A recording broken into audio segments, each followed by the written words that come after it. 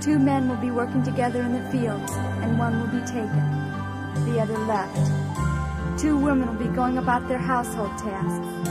One will be taken, the other left. So be prepared, for you don't know what day your Lord is coming. Life was filled with guns and war, and everyone got trampled on the floor. I wish we'd all been ready. Children died, the days grew cold. A piece of bread could buy a bag of gold. I wish we'd all been ready. There's no time to change your mind. The Son has come. You've been left behind.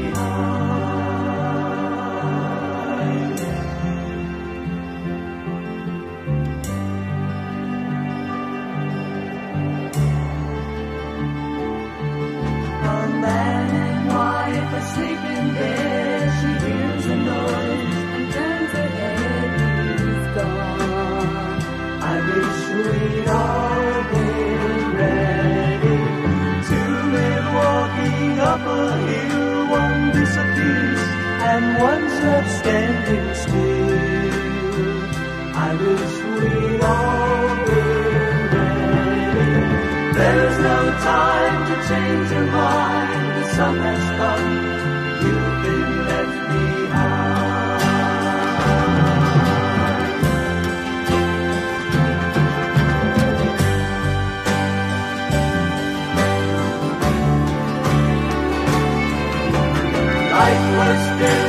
Guns and war,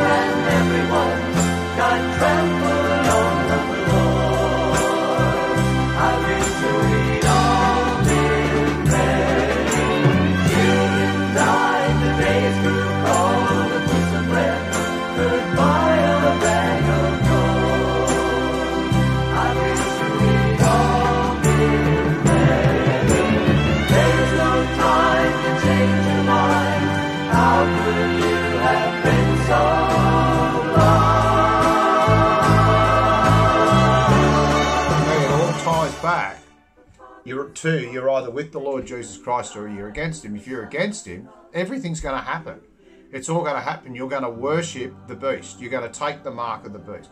For me, you're not going to be taking the mark of the beast if you're not worshipping the beast, right? To me, they go absolutely hand in hand. And we come back into Revelation 14, and we're reading that if any man worship the beast and his image and receive his mark in his forehead or his hand, I'm being led to think because you're worshipping the beast, and if you're worshipping the beast, that means your name's not written in the book of life. So I'm being led to think that these are absolutely worshipping the beast. And if you worship the beast, your name is not written in the book of life, and worshipping the beast will undoubtedly lead to you taking the mark of the beast. So if you take the mark of the beast, you're worshipping the beast. Your name's not written in the book of life. And if your name is not written in the book of life, you're going to be worshipping the beast and his image, and you're going to be receiving his mark in your forehead or in your right hand. There's no exceptions. You're all in, you're all in. So he that is with me is against me. So if you take the mark of the beast, you're going to drink the wine of the wrath of God, which is poured out without mixture, and you're going to be tormented with fire and brimstone in the presence of the holy angels and in the presence of the lamb. So for me, it's either it's either you if you take the mark of the beast, you're going to be tormented. I'm being led to think in the lake of fire forever, and if you don't take the mark of the beast, you're going to paradise. There's no in between. And I'm being led to think the only ones, the only ones who will not take the mark of the beast are those that endure to the end, and the only ones that are going to uh, uh, endure to the end are the lambs among wolves, which is where we are today, and those that are actually walking in the gospel, the gospel that this angel is holding, the everlasting gospel, that they that have endured to the end shall preach, which I'm being led to think is the body of Christ. So we've got that, it's the division, right? There's a definite division. You're either you're either with the Lord Jesus Christ or you're against the Lord Jesus Christ. And for me, it all pertains to who the, the mark of the beast for me is it's only it's only happening to those who are at the end. The mark of the beast, those that have perished before us, they're, they've already died. So I'm being led to think that potentially they're not subject to the mark of the beast. But we today, everybody that's alive at the time are because it could well happen in their lifetime. And the way things are going right now, I'm being led to think that the mark of the beast could well very well be playing out. So if you take it, you're in the lake of fire forever. If you don't take it, you're with the Lord Jesus Christ. You're with the Lord Jesus Christ forever. So now I come back into the question in Revelation 14, we've got this 144,000. So the 144,000 would be lambs in the midst of wolves. They would be saints. They would be a part of the Hebrews, I would have thought. So the other way around, are there any Hebrews? Hebrews 12 I'm referring to. Are there any saints? Are there any members of the church? Are there any who endured to the end that are not? that are not a part of the 144,000. 144,000, I'm being led to think, are the army. They're the army of God. That I'm seeing a few times in the scriptures. Back in Deuteronomy 33, so who's who is Moses talking to, right? Because this is the blessing. This is the blessing wherewith Moses, the man of God, blessed the children of Israel before his death. So this is telling me that Moses again is prophesizing because he's talking about the blessing. So if you do walk with the Lord in his law, then you're going to be blessed. So he's talking about the blessing. Wherewith the Moses, the man of God, blessed the children of Israel before his death. And he said, The Lord came from Sinai and rose up. And this is where it's pivotal that the scriptures are telling me that this is this is a prophecy because he's talking about the blessing.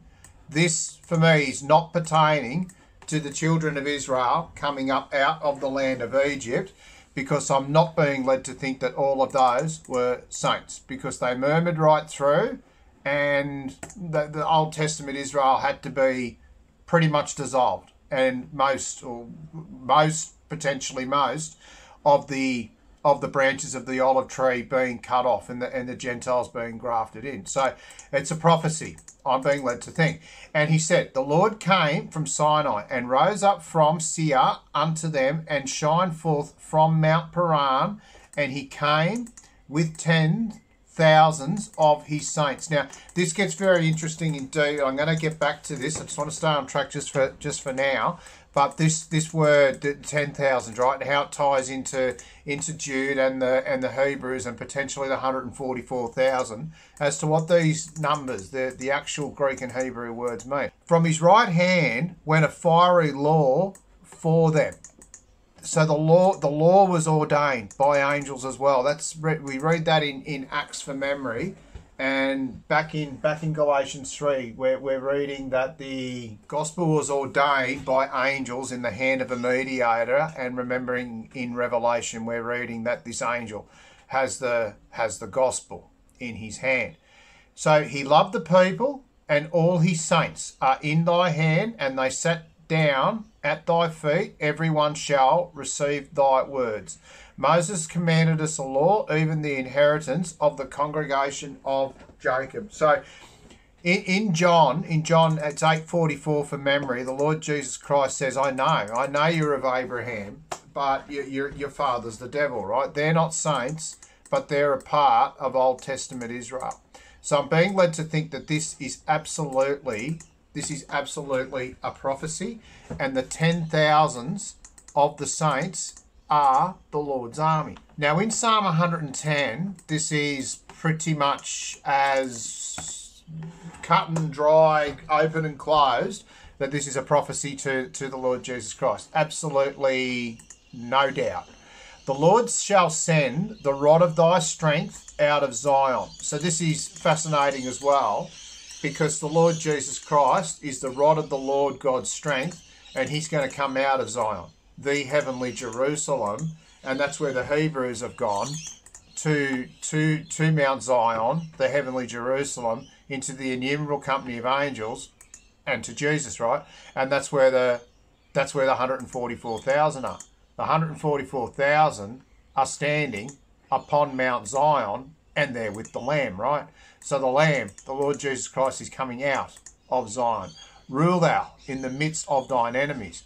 Thy people shall be willing in the day of thy power, right? H, H, H2428, which is army. Same Hebrew word as Nebuchadnezzar's army, right? The day of the Lord's power. I'm being led to think that this is absolutely the Lord's anger and potentially the ten thousands of saints, the Lord's army, that we're reading in Deuteronomy 33. So the people shall be willing, the Lord's army, the soldiers of Christ in the day, the church in the day of the Lord's power, right? Those who endure to the end shall be saved in the beauties of holiness from the womb. I'm being led to think we're looking at Sarah's pleasure, right? The seed of Isaac, the true Israel, the church, right? So I'm being led to think here we're getting a manifestation of the Lord's army. We read it in Timothy soldiers, soldiers of the Lord Jesus Christ, and that's who Moses is prophesying about here in Deuteronomy 33. Now, Jude gives us a little bit of a twist in that after we read about the wandering stars, we read that Enoch, the seventh from Adam, prophesied of these, right? So he's prophesied, Enoch has prophesied about the wandering stars, the trees whose fruit withers. I'm being led to think potentially the Pharisees, the untimely figs in Revelation 6:13 the wandering stars, right? The wandering stars, the angels that kept not their first estate, the certain men, such as the men of Korah in the gainsaying of Korah in Numbers 16 and 17, because the earth swallowed them up, and now they're in the blackness of darkness forever. They are now wandering stars. Cain, he went out to the land of Nod, which means wandering. He was a fugitive and a vagabond, and both of those words pertain to wandering, right? So I'm being led to think that Cain was a wandering star. Balaam become a wandering star. The men of Korah in the gainsaying of Kor, they were wandering stars. They were these certain men, the angels, that kept not their first estate.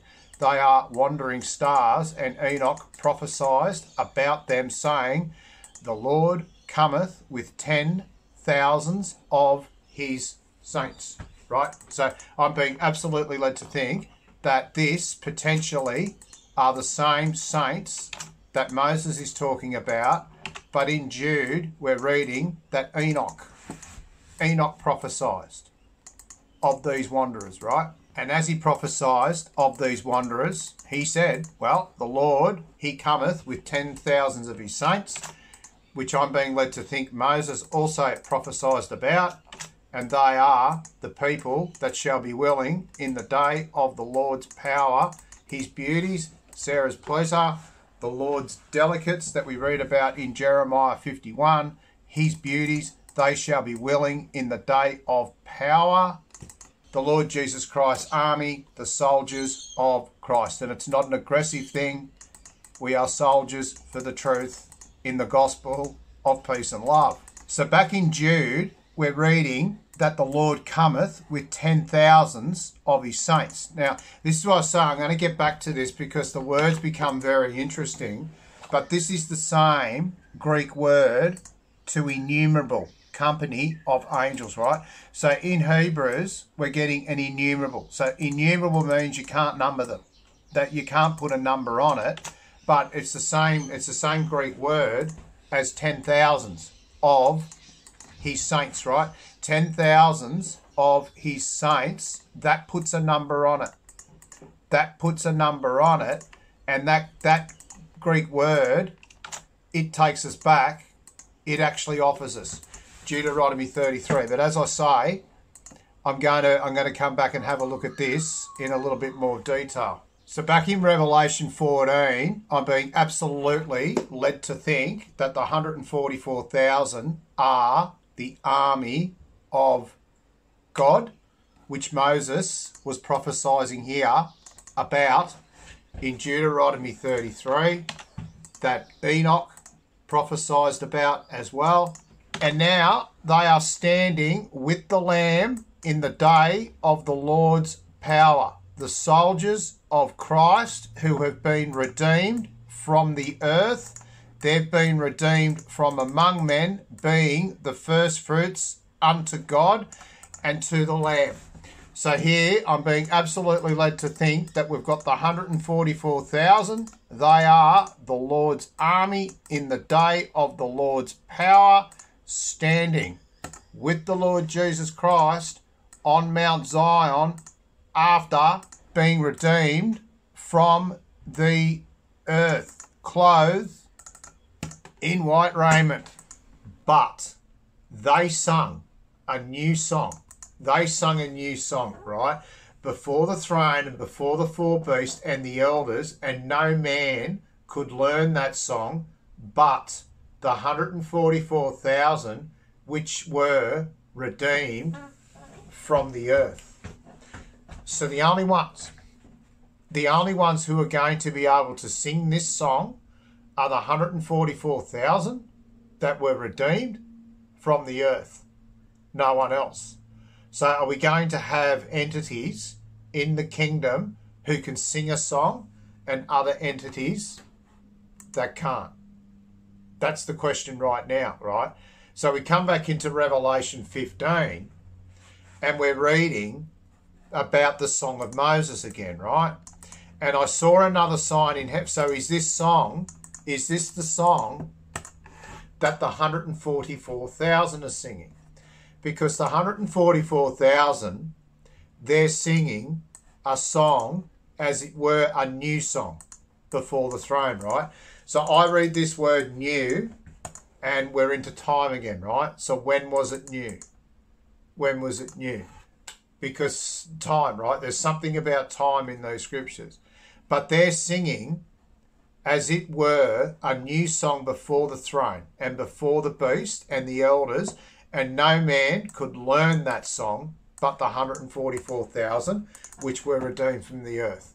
So nobody, apart from the 144,000, can sing that song. But in Revelation 15, we're reading about them who had gotten victory over the mark of the beast and his image, and over his mark, and over the number of his name stand on the sea of glass.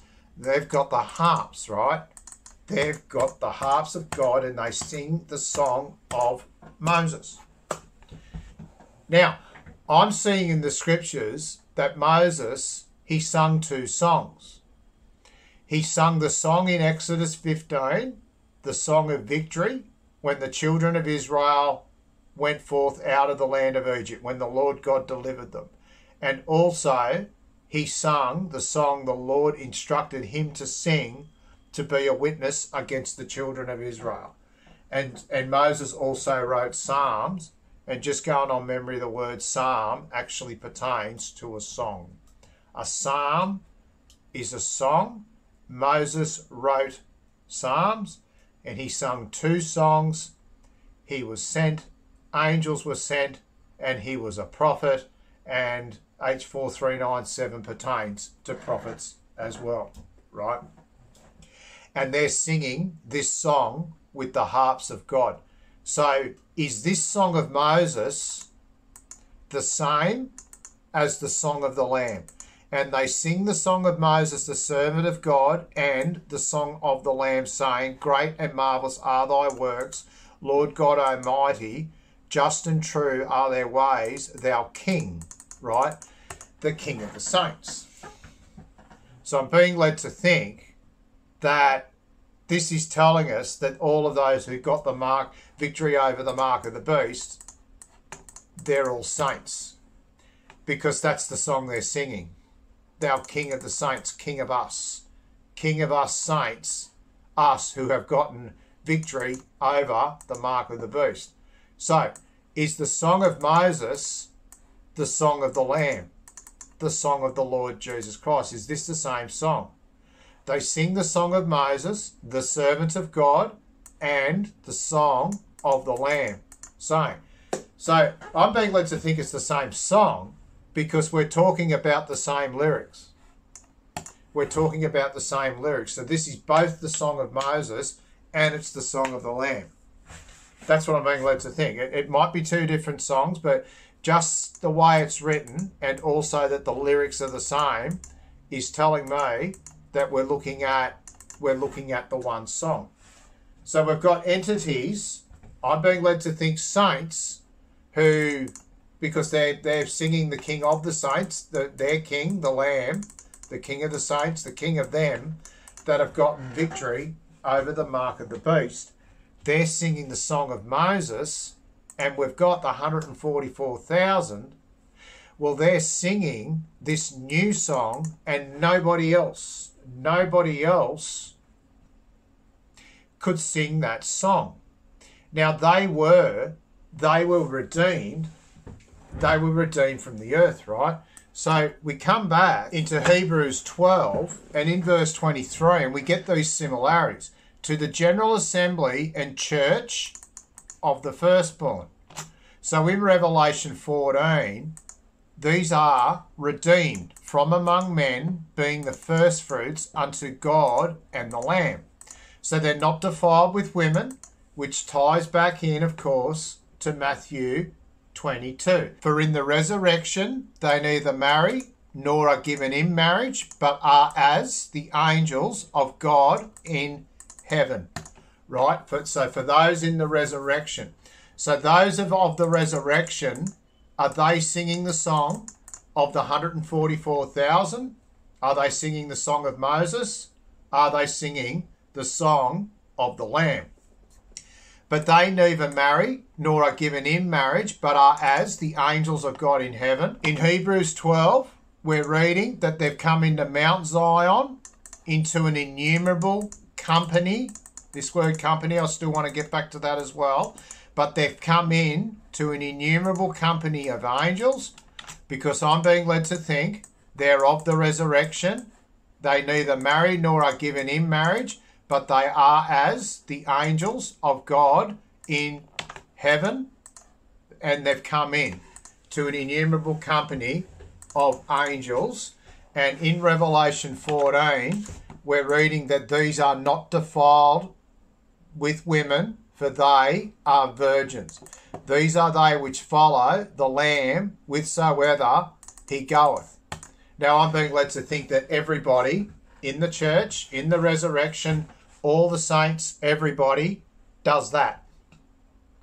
Everybody that's with the Lord Jesus Christ that hasn't taken the mark of the beast, who is not going to the lake of fire, they follow they follow the Lamb wherever he goeth. So you're either with the Lord Jesus Christ or you're against the Lord Jesus Christ. There's no in between. And if you are with the Lord Jesus Christ, you follow him. You follow him wherever you go. So I'm seeing that the church, the saints, the 144,000, the Hebrews, all of them people that get the victory over the mark of the beast, they all they all fit in to this category. They all fit into this category, right? Now we, we read here in verse four, these are they which follow the Lamb whithersoever he goeth. Now I read that and I, I'm I'm 50-50 with it because this this could just pertain to the 144,000. The, the 144,000, these are they that follow the Lamb whether it, where, where, wherever he goes. But it could also pertain to this is all. Nobody else. Nobody else follows the Lamb. This is them here. These are they which follow the Lamb. Now, as I've been putting down, you're either with him or you're against him, and that's completely up to him. I'm being led to think. But we also, what we do, it plays a role in this. Don't be high minded because you'll be cut off as well. We need to continue, and it's not easy. It's not easy some days. It's certainly, I wouldn't call it easy here right now in the New South Wales Central Coast, but it's an honour and it's a privilege and it's very, very rewarding indeed. And Simon Peter said to the Lord Jesus Christ when many disciples were offended and they turned their back, he, the Lord Jesus Christ said, "Well, you're gonna you're gonna turn your back to and get offended." And Simon Peter said, "Well, where, where are we going to go? Where, where, are we going to go?" Right? And that's exactly how I feel now. Like I'm not following the Lord Jesus Christ now because there's nowhere else to go. I'm doing it because I know there's nowhere else to go, and nor do I want there to be. He's the way. He's the truth. He's the life, and there, there's no there's no life outside of him. There's no life outside of him. So here in Revelation 14 what I'm sort of testing now, because I feel I've been led back to these chapters in Revelation now, as I say, due to both my testimony and just just questions I've asked my whole life about why we're here, etc. And, and also, it's just where the scriptures have led me. It's where the videos led me, and it's where the scriptures have led me. Now, my testimony, it's just worsening here. So it's now the it's now July 26 at about four o'clock in the afternoon here on the New South Wales Central Coast, and about an hour ago, I finished my the, the, the giants that run the world. Their obsession with the demon juice, right? I just finished that video now, so we'll wait and see how it settles and see whether the backup the backup page gets struck as well. We'll, we'll just wait and see, right? But I'm glad I put that video down.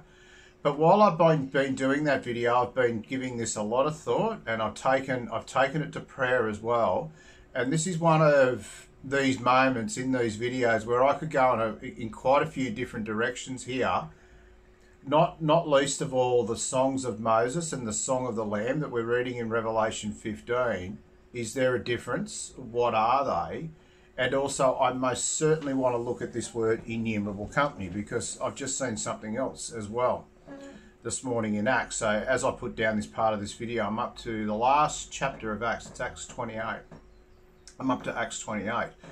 And I just read something that, that ties into it again, and just time, just just how there's something there's something in those scriptures about time, and I just I just keep coming back to it. And this next part of the video, if it goes if it goes according to the plan, you'll you'll see what what I mean in terms of I'm just coming into it again.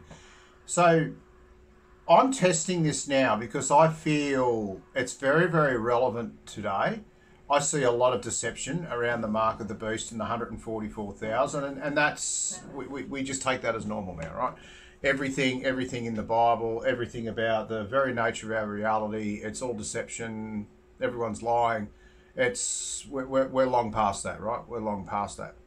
So I see a lot of deception in this area, and I feel now I've most certainly been led here because, as I say, of my testimony and also the video. So I really, really, I just want to spend a bit more time on this now because a few things, a few things are really starting to come in here hard now. Because what I want to test is okay. So let's say, let's say that we are in the end times, and we are we are going to see the end of all these things. Now, there's a scripture in Matthew. I'll go there now. And it comes in Matthew 16. Now, in verse 15, the Lord Jesus Christ asked them, Who do you say I am? And Simon Peter declares, Thou art the, thou art the Christ. And the Lord Jesus Christ tells Simon Peter, Blessed art thou, because it's been revealed to you by, by the Lord God, his Father in heaven. Right? So it's a it's a heavenly gift. And he tells Simon Peter, Upon this rock I will build my church, and the gates of hell shall not, shall not prevail against it. So I'm being led to think that, that, that this rock is absolutely the Lord Jesus Christ. That the, ch- that the church is not going to be built upon Simon Peter. It's going to be built upon this rock that has just been declared to Simon Peter. Thou art the Christ. So it's that rock. It's the potentially to the the rock of faith, the rock of faith, because the gates of hell cannot prevail against the church of faith.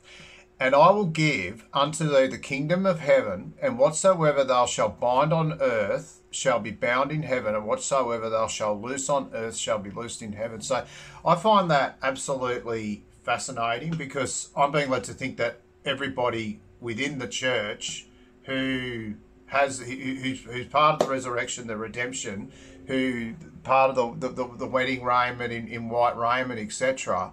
I'm being led to think they all, we all, will be given the keys of the kingdom of heaven. But I read that thou shalt, what shall thou shalt bind on the earth shall be bound in heaven, and whatsoever thou shalt loose on the earth shall be loosed in heaven.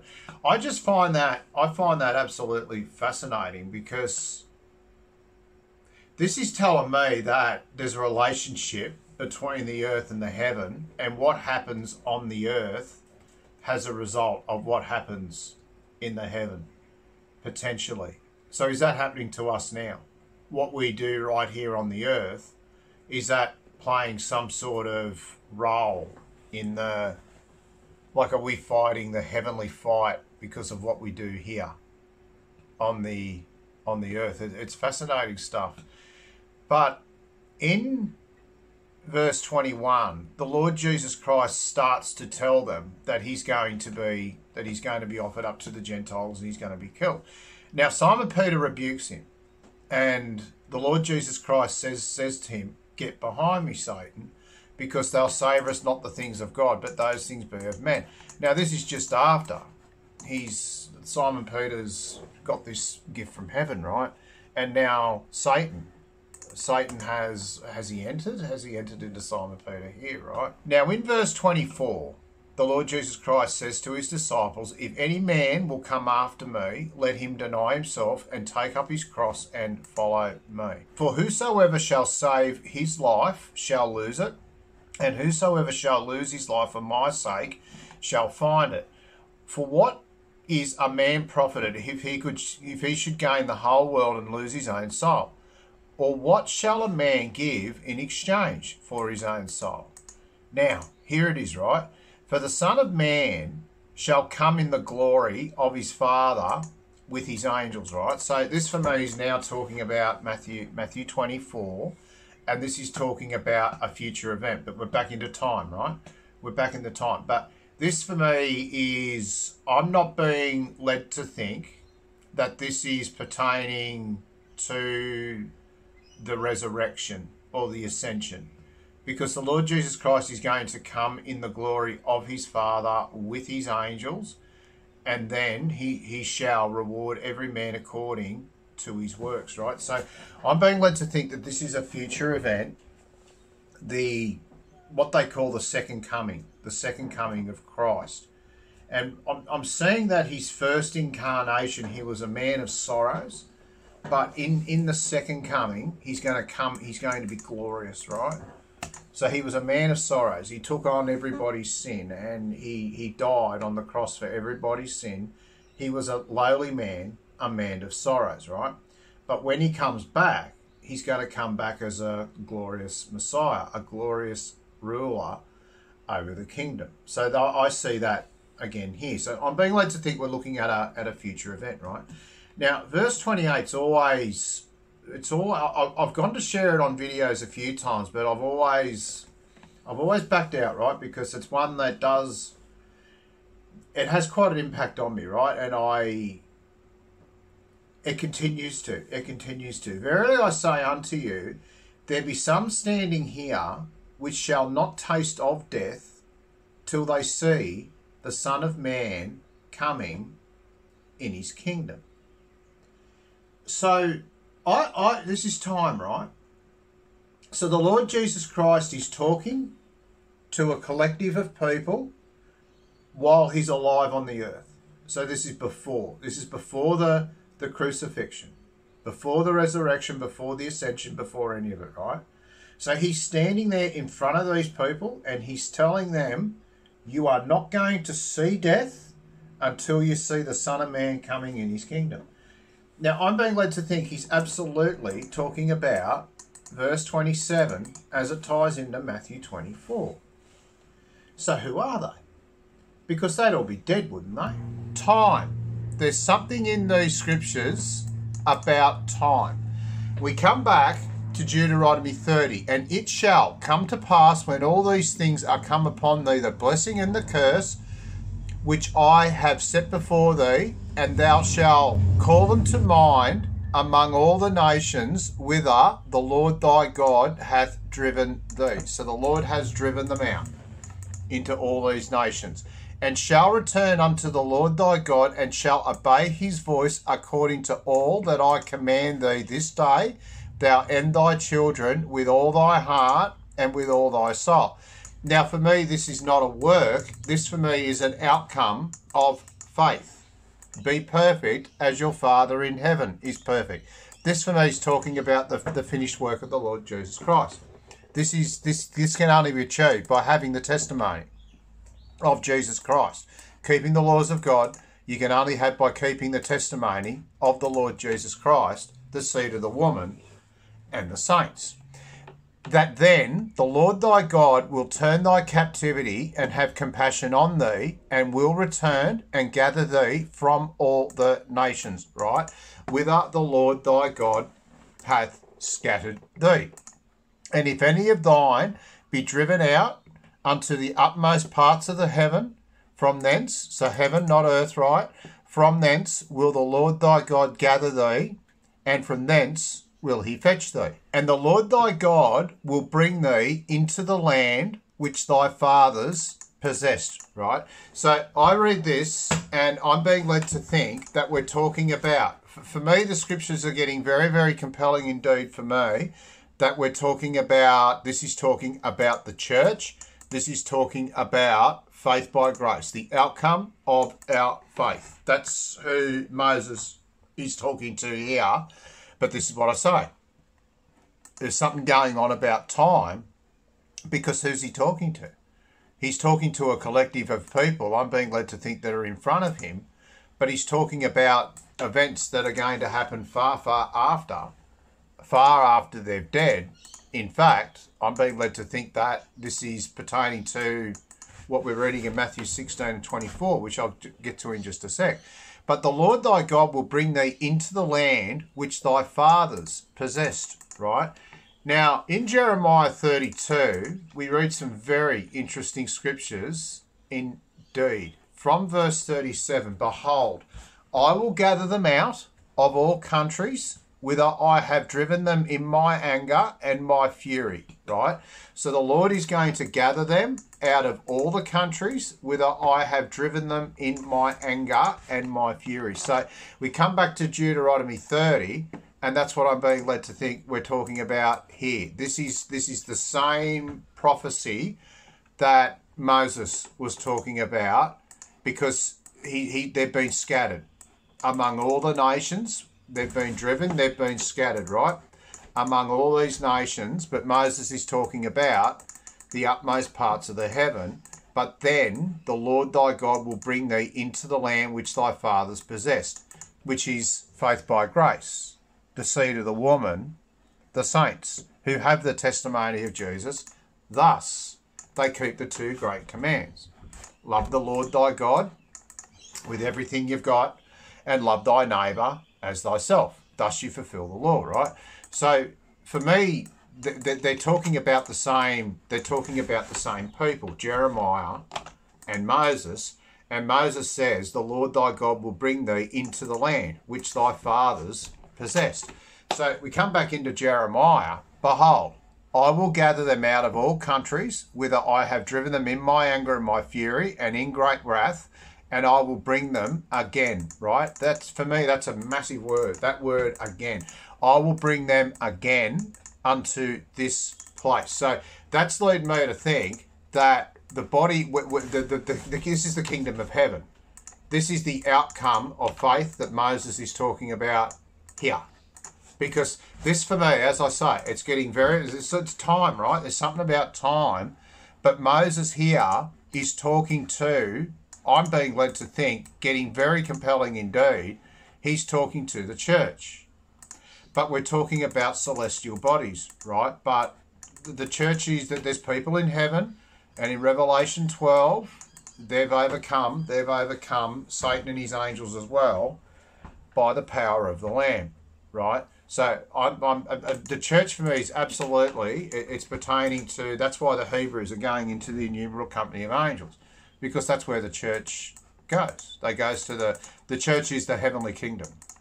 It's the heavenly kingdom, right? So Moses is saying, "The Lord thy God will bring thee into the land which thy fathers possessed." And for me here, Jeremiah, he is undoubtedly he's talking He's talking about the Lord Jesus Christ. He's talking about the church because we read, I will put fear in their hearts and I will give them one heart that they may fear me forever for the good of them and their children after them.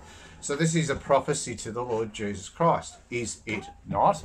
And Jeremiah says, I will bring them again into this place, again, again, again, right? So the church is going to the same place that Israel were in, the land of Canaan, and Hebrews tells us the land of Canaan is the rest of the Lord Jesus Christ.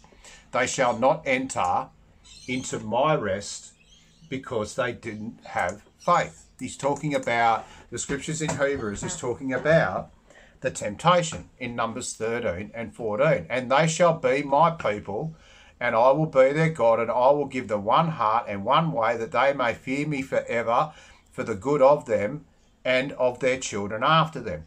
And I will make an everlasting covenant with them. So it's undoubtedly, this is undoubtedly the church, the everlasting covenant, the New Testament, grace, the Lord Jesus Christ, the testimony of Jesus Christ. Thus, thus, thus, because we've got the testimony of Jesus Christ, we get this faith by grace, the everlasting covenant, right? And Jeremiah is saying, Jeremiah is saying that I will bring them again into this place. And Moses is saying, the Lord thy God will bring thee into the land which thy fathers possessed, right? So for me, we're talking about the same thing. And Jeremiah is undoubtedly, undoubtedly talking about the everlasting covenant because it says it. He's talking about the church, the saints, the Hebrews, 144,000. Those who get victory over the master, mark of the beast. There's neither Jew nor Gentile. There's one faith, one Lord, one baptism. That's it. There's nothing outside of the church, right? So that's what we're talking about here. Yeah, I'm being led to think that for me, it's pretty in my face that that's what we're talking about. And that this place, this place is exactly what Moses is referring to here that I will bring thee into the land which thy fathers, which thy fathers possessed, right? So who is Moses talking to? So in Jeremiah, we get in verse 41, Ye, I will rejoice over them to do good, and I will plant them, plant them, plant them. Right now, this ties back to Exodus 15 that I'm going to get back to in just a bit because I am at fever pitch that Exodus 15 could well be talking about the true tabernacle that the Lord pitched and not man, because in Exodus 15, the Lord plants them in the place of his inheritance. As I say, I'll get back to that in just a sec. Assuredly, with my whole heart and with my whole soul, right? So, this for me is undoubtedly talking about the church, the everlasting covenant, and they're going to come again into this place. So, that's where they were in the Old Testament, the kingdom of heaven, right? The kingdom the kingdom of God. So that's what Moses is talking about, the utmost parts of the heaven, but then I will bring thee into the land which thy fathers which thy fathers possessed. But here in Deuteronomy 30, it, we get an absolute mirror to Nehemiah 1 as I've put down in previous videos. Because Nehemiah, he beseeches the Lord in this prayer and he says, Which thou commanded thy servant Moses. We have dealt very corruptly against thee, and have not kept, kept the commandments, nor the statutes, nor the judgments, which thou commandest thy servant Moses. Right? So Nehemiah's talking He's talking about Moses. Remember, I beseech thee the word that thou commandest thy servant Moses, saying, If you transgress, I will scatter you abroad among the nations. That's what we're getting in Deuteronomy 30. The Lord thy God hath scattered thee. Gather from the nations, all the nations where you've been scattered, and then I will bring you back into the land that your fathers possessed. And that's what Jeremiah is talking about here. I will gather them out of all the countries. I have driven them, and then, and then we're going to come again into this place. And this for me is undoubtedly talking about the church. I will plant them in this land. So for me, the three chapters are absolutely they're absolutely talking to each other. So back in Nehemiah 1, if you will turn unto me and keep my commandments and do them, though there were driven of you out into the utmost parts of the heaven, right? I will gather them from thence, and I will bring them unto the place that I have chosen to set my name there, right? So that's that's Jerusalem. So if you are cast out into the utmost parts of the heaven, I will gather you from thence. Moses says that very thing. If thou be driven out into the utmost parts of the heaven, the Lord thy God will gather thee and will bring you again into the land that your fathers possessed. And that's the same land that Jeremiah is talking about. And I will bring them again into this place, into the everlasting covenant, and I will plant them, right? I will plant them in this land. So, this for me is the same land. We've absolutely got the same land. That's where the church, that's going to be the land of the church, the kingdom of heaven, right? And Deuteronomy 30, for me, is an absolute prophecy to Nehemiah, if thou be driven out into the utmost parts of the heaven, thence the Lord thy God will gather thee. And that's what Nehemiah is saying. He's, he's recalling, he's recalling the prophecy of Moses, and he says, If there are any of you cast out into the utmost parts of the heaven, yet I will gather them from thence and bring them into the place that I have chosen to set my name there. Now these are thy servants and thy people whom thou hast redeemed by thy great power and thy strong hand.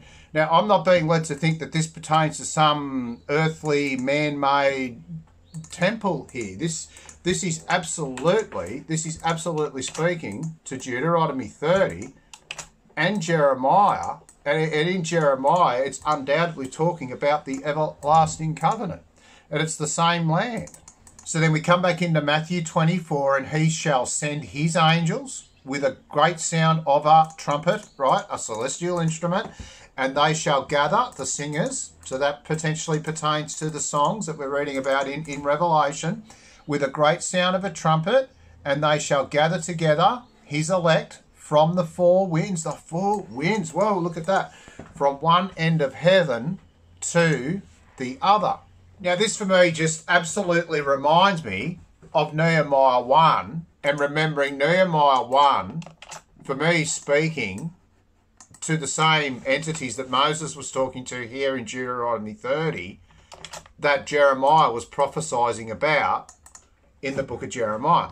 Now, this is quite interesting here in verse 5 and the Lord thy God will bring thee into the land which thy fathers possessed, right? And thou shall possess it. So is this saying that these entities that Moses is talking about here have never had that land? Because they've been scattered. They've been scattered from somewhere, but we're reading the Lord's going to fetch them and then he's going to bring them into the land which their fathers which their fathers possessed. And we get it again in Jeremiah 7 and verse 7. Then I will cause you to dwell in this place in the land that I gave to your fathers forever and ever. And Jeremiah 7, of course, is the scriptures that I'm absolutely being led to think we're getting a manifestation of celestial bodies being cast out. And I will cast you out. If you don't, if you don't do what I'm commanding you to do here, I will cast you out of my sight as I have cast out all your brethren, even the whole seed of Ephraim. So, how were the seed of Ephraim cast out? We read that in Isaiah 28, where the seed of Ephraim, I'm being led to think the whole seed of Ephraim were cast down, were cast down to the earth. Woe to the crown of pride, the drunkards of Ephraim, whose glorious beauty is as a fading flower, which are on the head of the fat valleys that are overcome with wine. Behold, the Lord hath a mighty and strong one, which as a tempest, right? So I'm being led to think that this is absolutely pertaining to the fury of the Lord Jesus Christ, the mighty wind of the fig tree in Revelation 6:13. This tempest is the Lord Jesus Christ in Mark 11 going into the temple and casting them out, right? Casting them out. Behold, the Lord hath a mighty and strong one, the Lord Jesus Christ, which as a tempest of hail and a destroying storm, as a flood of mighty waters overflowing, shall cast down to the earth with the hand. Right. So for me, this is the this is the mighty wind casting the untimely figs, the untimely figs to the earth.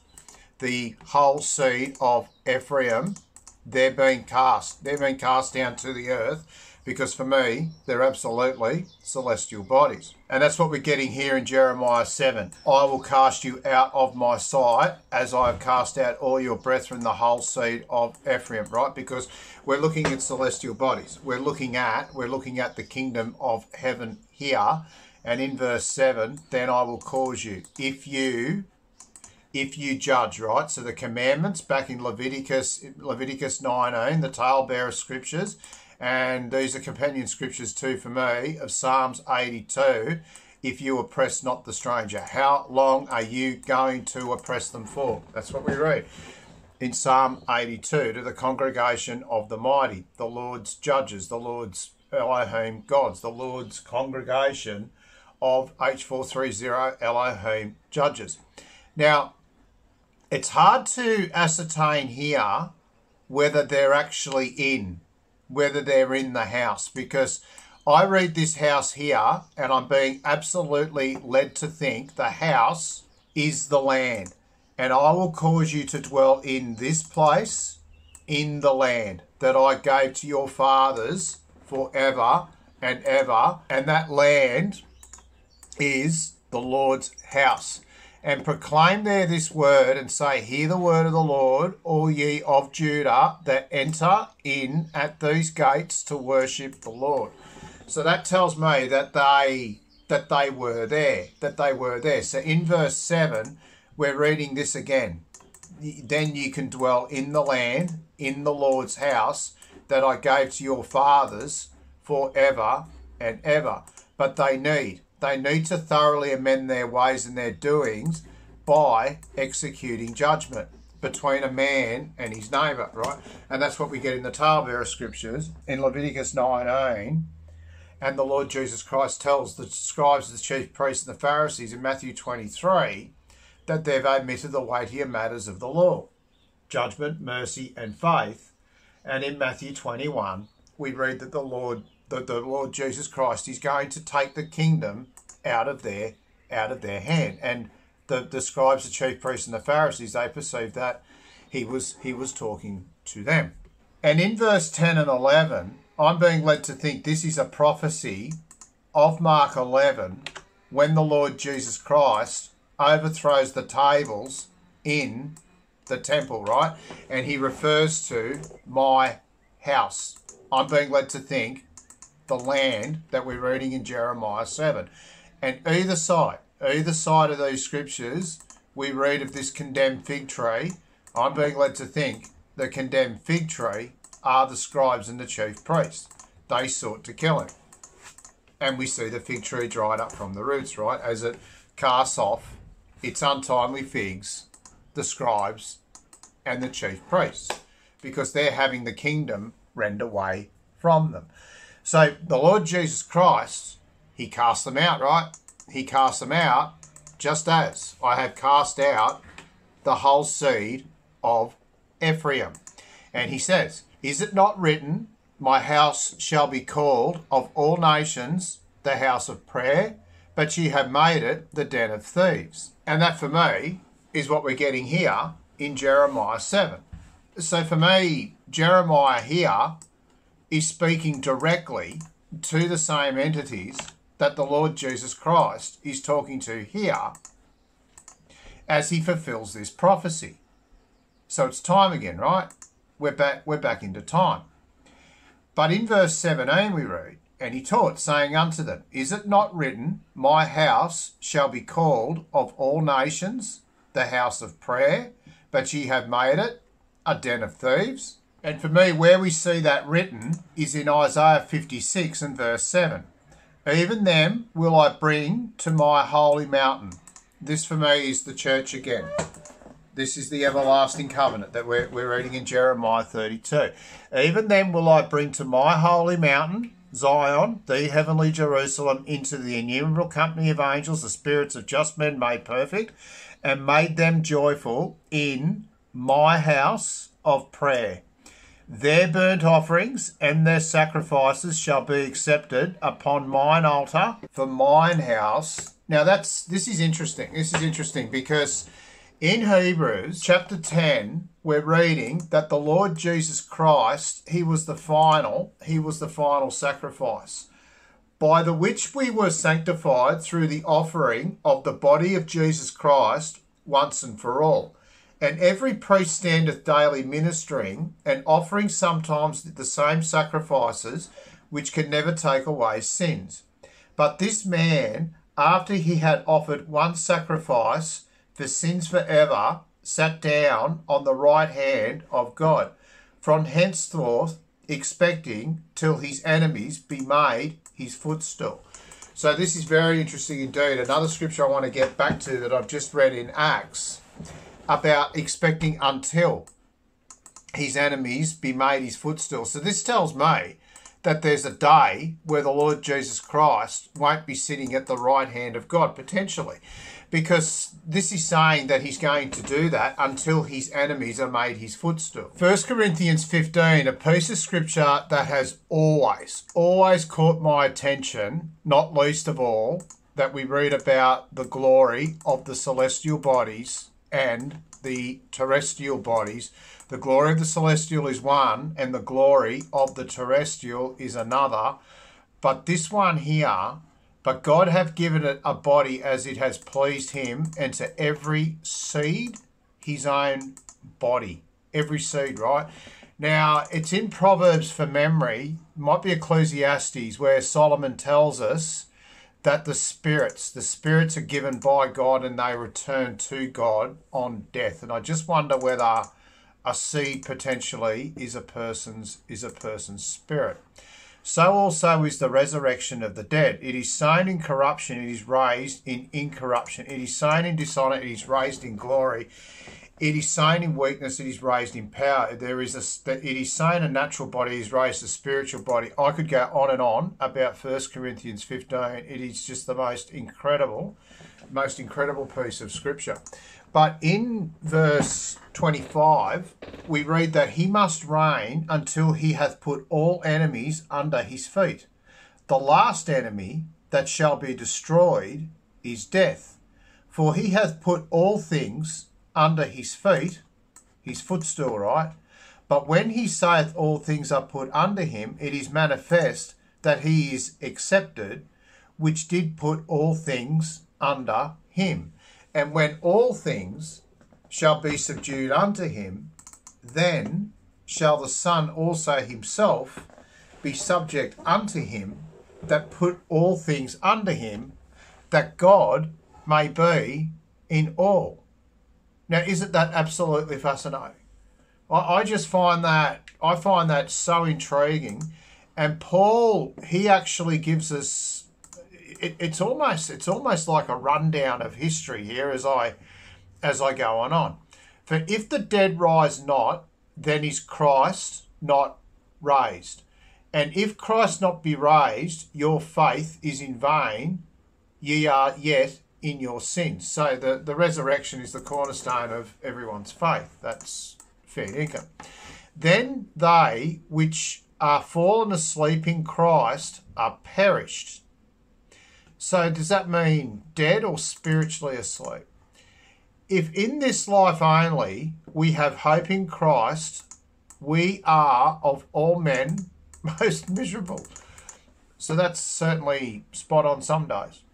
Faith is most certainly formed in the in the valleys, not the not the not the mountaintops. But now is Christ risen from the dead and become the first fruits of them that slept. So this for me is interesting as well because in Hebrews 12 we're reading that the Hebrews are coming to the church of the firstborn, the first fruits of them that slept, right? The cornerstone, the first. For since by man came death, by man came also the resurrection of the dead. For as in Adam all die, even so in Christ shall all be made alive. So as I go on and on, this seems to be essential to grace. For as much as we're all cursed to be born in a world of death and sin, the, the, the, the blessing of grace is just even more vast. But every man in his own order. Christ the first fruits, afterward they that are Christ's at his coming. Then cometh the end. Right? Then cometh the end. So verse 23 again. But every man in his own order, Christ the first fruits, afterward they that are Christ's at his coming. Right? So is this pertaining to Matthew 16? Some will not see death until they see the Son of Man coming in his glory. Are these those that are standing at the end, who have gotten victory over the mark of the beast? Then cometh the end, when he shall have delivered up the kingdom of God, even the Father, when he shall have put down all rule and all authority and power. So that for me is saying that everybody, absolutely everybody before that before anybody's redeemed is an enemy. Because everybody everybody is going to be put down. And when that happens that means all of his enemies have been made his footstool.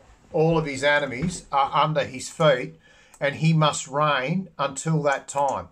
And the last enemy that shall be destroyed is death so the Lord Jesus Christ has defeated death, but we still die, right? We all still die. Uh, well, the, the entities I'm being led to thinking Matthew 16 won't, but everybody dies. So he hasn't been destroyed yet, right? Even though he has, he has defeated. For he hath put all things under his feet. But when he saith all things are put under him, it is manifest that he is accepted which did put all things under him. So the Lord Jesus Christ is the exception to the rule, right? But when all things shall be subdued unto him, then shall the Son himself be subject unto him that put put all things under him, that God be made, God may be in all. So it's just fascinating. It's just absolutely fascinating. So this for me goes away to explain what we're getting here in Hebrews 10 expecting till his enemies be made his footstool.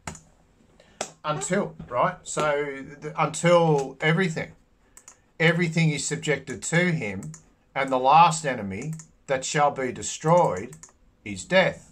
And we see on the world today, it's quite obvious here on the New South Wales Central Coast right now, that this has not happened yet. That this has not happened. Uh, it's about the just about the redemption. Back to the just back to the state of, of, mankind when they were created, something's come in in Acts, but there's many different things I want to talk about right now. So I will get there, I pray.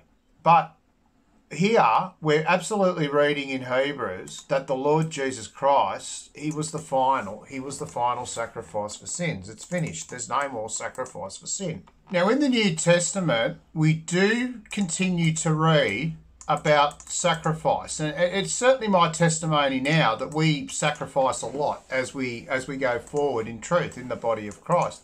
I beseech you, therefore, brethren, by the mercies of God, that ye present your bodies a living sacrifice, holy, acceptable to God, which is your reasonable service. And be not conformed to the world. So, this is what I'm talking about. Be not conformed to the world that you're sacrificing your life, right? We sacrifice our life because we count everything that we have lost as dung, that we might win, that we might win Christ. And be not conformed to the world, but be ye transformed by the renewing of your mind, that ye may prove what is that good and acceptable and perfect, right? Here's that word perfect again, and perfect will of God, right? So in Romans 12, we're most certainly reading that we present our bodies as a living sacrifice, right? It's not a sacrifice for sin.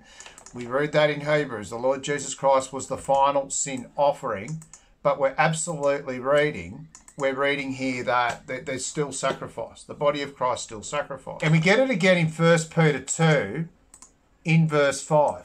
Ye also, as lively stones, right, are built up a spiritual house. Now, this is exactly what I'm being led to think we're reading in those scriptures I'm sharing in the Old Testament. In Deuteronomy 30, in Nehemiah 1, in Jeremiah 7, in Isaiah 56, all of these scriptures that I've been sharing, I'm being led to think that we are we are a spiritual house and we are all a stone that makes up that spiritual house, that spiritual house, the body of Christ. The house of the Lord that we're reading right through the Old Testament, but it's been given. It's now been given to a nation, bringing forth the fruits thereof. And each one, each one of us is a stone that makes up that house, just like in the Old Testament. Every parcel of land was a stone that made up that made up that house, but in the Old Testament they rejected the chief cornerstone the Lord Jesus Christ. That's what I'm being led to think. First Peter 2 just allows me to put it down absolutely perfect what the scriptures are leading me to think. But in any case, ye also, as lively stones, are built up a spiritual house, a holy priesthood, a holy priesthood, right? To offer up spiritual sacrifices acceptable to God by Jesus Christ. So the body of Christ are offering up spiritual sacrifices. Now, this potentially ties in perfectly to what we're reading here in Romans 12 that you it's a spiritual sacrifice because we're no longer conformed to the world, because we're now walking in, we're now walking in the Spirit. So we're presenting our bodies a living sacrifice as we offer up, as we offer up spiritual sacrifices. Maybe. And again, we get it in Philippians 4, and Paul says, Not because I desire a gift, but I desire fruit that may abound to your account. But I have all and abound, I am full, having received of, wow, we, the things which were sent from you, an odour of a sweet smell, a sacrifice, right? A sacrifice well pleasing to God. So, Romans 12, the commands to present your bodies a living sacrifice, holy, acceptable to God, which is your reasonable service. And that's for me seems to be tied in with walking against the course of the world because we're now walking in the Spirit, which for me is what Peter is talking about. We offer up spiritual sacrifices because they're acceptable to the Lord Jesus Christ because we're now we're not now we're now not conformed to the world. So potentially, I'm seeing Romans 12 here. The sacrifice, our reasonable service, is not being conformed to the world because we are we are offering up spiritual sacrifices because we now walk in the spirit perhaps and then in philippians we're reading that for me potentially they roll up here they roll up here that, that those sacrifices they're well pleasing to God. In fact, they're a they're a sweet smelling savour to the Lord.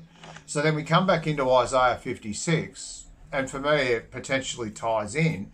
Their burnt offerings and their sacrifices shall be accepted upon mine altar. Those sacrifices being what Paul is talking about and what Peter's talking about, the spiritual sacrifices, that Paul also is pertaining, well, Paul also is, is referring to here in Romans 12. Not being conformed to the world. It's, it's hard. It gets difficult, right? And a living sacrifice, perhaps. So back in Isaiah 56, uh, as I say, I'm being led to think that this is talking about the church. This is talking about the body of Christ, the everlasting covenant. So sacrifices might not be pertaining to, it might not be pertaining to sin offerings. For me, in the New Testament, for me, as I go on and on, that's what this is pertaining to. The Lord's going to accept our spiritual sacrifices now that we're in the body of Christ. But we also get burnt offerings, right? Now, this is most interesting indeed. Burnt offerings is Hebrew word H5930. We see it 289 times, and it's translated out pretty much all those times as burnt offering or burnt sacrifice. But we also get a cent and go up, right? This is where it gets very interesting indeed. And the outline of biblical usage gives us whole burnt offering, ascent, right? Stairway steps. So this just reminds me straight away. This this reminds me straight away of of a of a star course, the highway. The stars fought in their courses against Sisera and Jacob's ladder, right? And this is pertaining this is pertaining to to burnt offerings, and the Lord is going to accept. The Lord's going to accept their burnt offerings and their and their sacrifices, right? So the Strong's definition, a step or stairs as ascending, usually a, I'm not going to say that word because I'll upset the little hats, as going up in smoke, ascent, burnt offering, sacrifice, go up to. So it's intertwining the two, isn't it? To me, it's like that's what this word means is that it means a burnt offering and to and to ascend and to go up, go up, to go up ladders, to to ascend, to, to, to go up a stairway, right? So we have a look at the Brown Driver Briggs lexicon, and it, it, inter, it intertwines it as well. We get whole burnt offering, that which goes up to heaven, others on the altar. So it's a sweet smelling savour potentially that goes up to the Lord to heaven. A sweet smelling savour maybe, but but here it's absolutely pertaining to both. A whole burnt offering, that which goes up to heaven, and we can see that in the outline of biblical usage and in the Strongs, it's absolutely it's just intertwining the two meanings, like they mean the same thing. That's that's the impression that I'm getting. The whole burnt offering, beast or fowl, is entirely consumed. It goes up in the flame of the altar of God, expressing the ascent of the soul in worship. Now, isn't that fascinating? The ascent of the soul in worship. The ascent of the soul. So the so the soul is ascending. It's going up. It's going up in the flame of the altar to God. And it's expressing the ascent of the soul in worship and ascending soul due to a burnt offering. I think we may very well have a Selah moment going on here. All of the victim is laid on the altar except the hide and such parts as could not be washed clean. Now, the Chaldee lexicon it, it intertwines the two as well. What is laid on the altar, what is offered on the altar, see the root. Specifically, a burnt offering, a sacrifice of which the whole was burned. Genesis 22, so that'd be pertaining to Isaac and Abraham. Leviticus 1 4, but then we get number two, an ascent and steps. And it gives us Ezekiel 40, which pertains to this very mysterious vision that Ezekiel saw where he sees, he sees the sacrifice. He sees it as sacrifice. So that's always led me to think that it doesn't pertain to the Lord Jesus Christ because it's got a sacrifice there and it's got an altar. But it's pertaining to an ascent and steps. And this absolutely ties in to these other other translations that we're getting here. So we see it, and it's pertaining to burnt offerings, right? Just burnt offerings of animals that we, well, I've always thought this word means. It's just pertaining to burnt offerings of animals, right? But this is what I say. We come into these we come into these other meanings or other translations and we see ascent and we get first Kings ten five. And this for me is is huge because this is talking about this is talking about Solomon and his ascent, his ascent by which he went up to the house of the Lord. And there were six steps to the throne, and Second Chronicles nine, where he, he's he's got algum trees from from the king of Tyre, and with those algum trees he made terraces, celestial star courses, to go up to the house of the Lord, and there were six steps to the throne, right? So this is one of those moments, absolutely, where I could potentially just get sidetracked here. This is very interesting indeed. And then we get go up, and this absolutely pertains to this vision that Ezekiel saw. And there were seven steps to go up to it, and the arches thereof were before them. And it had, had palm trees. So I, I start to wonder now. We come back into Isaiah 56 and I really start to wonder now because we're reading that their sacrifices shall be accepted. So this could very well pertain to the scriptures that I just shared. That we in the body of Christ, we offer sacrifices every day that are acceptable to God. But their burnt offerings also shall be accepted. Burnt offerings, which is pertaining, which is pertaining to ascension ascension, right? Because remembering in the Brown Driver Briggs, we're getting that the whole burnt offering is entirely consumed and goes up in the flame of the altar to God, expressing the ascent of the soul in worship. So, this for me is connecting the burnt offering to the ascension of the soul. And remembering also that it also pertains to Solomon and his ascent that he went up to the house of the Lord. He's ascent, right? He's ascent up to the house of the Lord. And in Isaiah 56, they, we're going to come. The Lord's going to bring them, the body of Christ, to his holy mountain, the Mount Zion, the heavenly Jerusalem, into an innumerable company of angels, and their burnt offerings shall be accepted. So their ascent. It's pertaining to ascent and their sacrifices shall be accepted, right? They're sent. So this just reminds me now of John 10, where the Lord Jesus Christ declares in verse 9 that he is the door. Verily, verily, I say unto you, he that entereth not by the door into the sheepfold, but climbeth up some other way, the same is a thief, right? Is a thief and a robber. But he that entereth in by the door is the shepherd of the sheep. And in verse 9, I am the door, by me, if any man enter in, he shall be saved, and shall go in and out, and find pasture. So the Lord Jesus Christ is the door to what? He's the door to the house of the Lord, right? So I'm being led to think that this is pertaining, this is absolutely it's pertaining to, to, to, to ascension.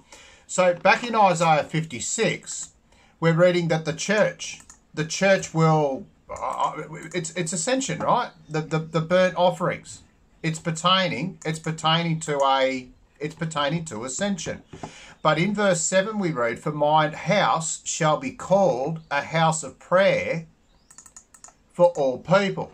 So in John 10, the Lord Jesus Christ is declaring that he is the door, and all that came before him are thieves, right? They're thieves and robbers, but the sheep did not hear them. So anyone who enters in not by the door, I'm being led to think to the house of the Lord. So this is I'm fever pitch. This is pertaining to ascension. So anybody that enters in to the house of the Lord, not by the Lord Jesus Christ, rejecting the chief cornerstone, but climbeth up some other way, the same is a thief and a robber. Now, remembering in Isaiah 56, we read, Even them will I bring to my holy mountain and make them joyful in my house, right? In my house of prayer, the Lord Jesus Christ being the door. The door to that house and he will accept their burnt offerings which is pertaining which is pertaining to ascension. So back in mark 11 we're reading that the lord jesus christ he comes in and he overthrows the tables of the money changers right? And he casts them out. I've been saying here for months and months that this is led me to think that he's casting out celestial bodies out of the temple, out of the house of the Lord. And he taught, saying unto them, Is it not written, My house shall be called of all nations, the church, the house of prayer? And back in Isaiah 56, that's the prophecy. I will bring them to my holy mountain, Mount Zion, the house of the Lord, the Lord Jesus Christ being the door to the house of the Lord, but they rejected the chief cornerstone, and make them joyful. In my house of prayer, their burnt offerings and their sacrifices shall be accepted upon mine altar, for my house shall be called a house of prayer for all people, the Lord Jesus Christ being the chief cornerstone. But in Mark 11, we are reading that they've made it a den of what? They've made it a den of thieves, right? So, back in John 10, we're reading that anybody that entereth not by the door into the sheepfold. I'm being led to think the house of the Lord, they are a thief, right? They're a thief and they're a robber because they're not entering in by the door. Back in Mark 11, they're not entering through the door, right? Because he's, he's casting them out, the, the untimely figs from the, from the dried up fig tree. So th- th- this for me is all it's pertaining to ascension. That's what this is starting to look like to me. And he cast them out. He's not accepting. He's not accepting their burnt offerings. Perhaps. Is it not written, My house shall be called of all nations, the house of prayer, the church? That's what we're getting in Isaiah 56. That's the prophecy, but instead, they've made it a den of thieves because they're not going through the door they're going through the thou shalt not steal, right? We get that in Exodus. But then we come back into Jeremiah 7. Stand in the gate of the Lord's house, right? And the and the door. The door is the Lord Jesus Christ. And I'm absolutely being led to think that this is this is the house of the Lord. This is the this is the fury of the Lord.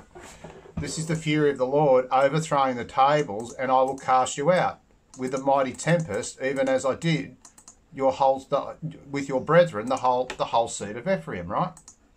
And they're celestial bodies. They're being cast down to it. Just all connects. I just keep coming back to it. It's just all for me. It's it's abs- I'm just a fever pitch. This is pertaining. This is pertaining to to ascension. And he taught, "Is it not written, My house shall be called of all nations a house of prayer, but ye have made it a den of thieves." Thieves, right? And that's exactly exactly what we get in Jeremiah 7. Will you steal? Right? Steal. Steal. There, I got it. Steal. Steal. Is it not written, My house shall be called of all nations, the house of prayer, but ye have made it a den of thieves? All nations, the house of prayer, the church, because they're all going in by the door into the house of the Lord. But these are all thieves because they're going up some other way. They're not going through the door. So the scribes and the chief priests, they heard it. They wanted to destroy him. And then we're getting the fig tree casting off her, her untimely figs, as we read in Revelation 6.13. And then in Jeremiah, eh, this is the prophecy. This is this is the prophecy of the Lord Jesus Christ overthrowing the tables. Is this house, which is called by my name, become a den of robbers? Right? In your eyes because they're not. They're not going through the door. They're entering in to the house of the Lord some other way. They're a thief and a robber, and I'm being absolutely led to think that this is pertaining to ascension. So they're ascending to the house of the Lord some other way, but the door up into Mount Zion, the heavenly Jerusalem, which is what we're reading here in Isaiah 56. So now, when I read, their burnt offering and their sacrifices shall be accepted upon mine altar, my, my, my, as always in these scriptures, I'm being led to think that there is far, far more to consider.